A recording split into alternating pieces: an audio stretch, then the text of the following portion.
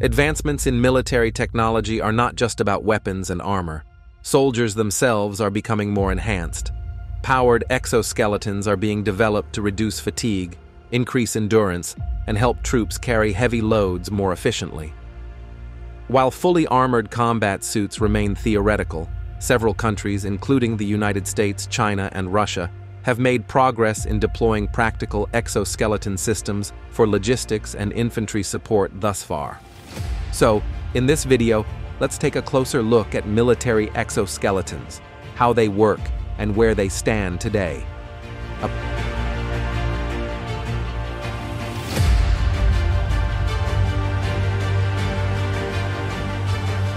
powered exoskeleton is a wearable system that enhances strength and mobility using electric motors, hydraulic actuators, or pneumatic systems.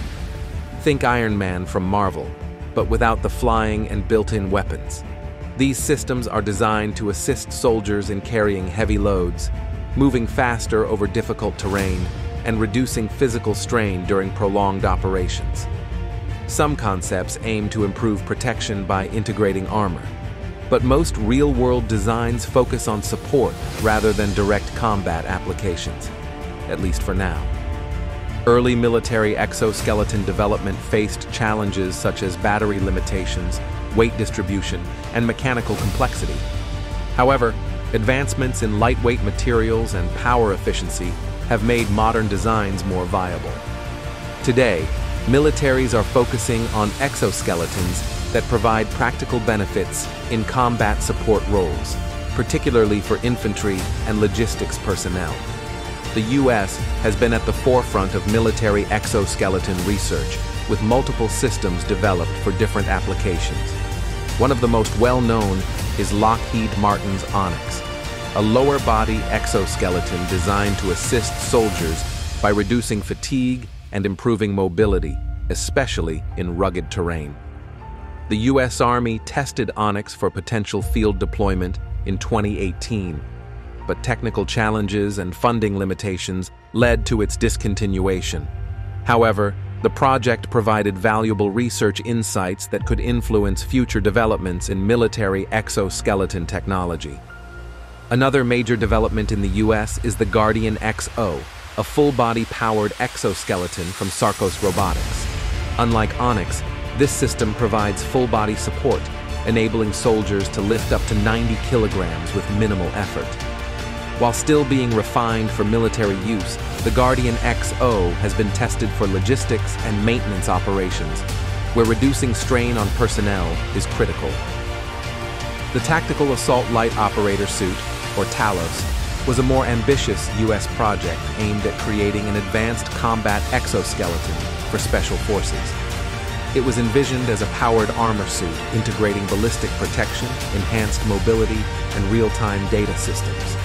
However, similar to the Onyx, technical challenges led to the project being scaled back, with its research contributing to other wearable military technologies instead. China has also been developing powered exoskeletons, with a focus on supporting infantry and logistics personnel. The Norinco-developed exoskeleton revealed in 2017, is a lightweight system designed to assist troops in carrying heavy loads over long distances. It has been tested for use in high-altitude environments, where oxygen levels are lower and physical exertion is more demanding. A more advanced system was later showcased by China's Poly Technologies, designed for increased mobility and better load distribution. While details remain limited, this exoskeleton appears to be aimed at special operations forces and heavy weapons teams, allowing soldiers to carry large-caliber firearms or heavy equipment with reduced strain. Russia has taken a different approach, integrating exoskeleton technology into its broader soldier modernization programs. The Ratnik 3 combat suit is one of Russia's more publicized developments, featuring a passive exoskeleton to reduce strain on the lower body. Unlike powered systems, passive exoskeletons rely on mechanical structures rather than motors or hydraulics, making them lighter and more reliable. While Ratnik 3 is still in development, Russian officials have claimed that it could be deployed with special forces in the future. Other countries, including France, South Korea, and Japan, have also experimented with military exoskeletons, though most remain in prototype stages. France has tested exoskeletons for logistics applications, while South Korea's Hyundai has developed wearable robotic systems with potential military applications. Japan's research has largely focused on civilian uses, but its advancements in robotic mobility could influence future defense projects. Despite early optimism, most powered exoskeletons remain in limited use due to technological and logistical challenges.